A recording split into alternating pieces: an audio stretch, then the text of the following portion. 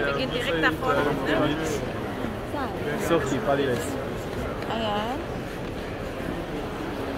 Ayan. Yung pinipilahan nila guys. Ang, ang liit. Ang liit lang. Liit. Si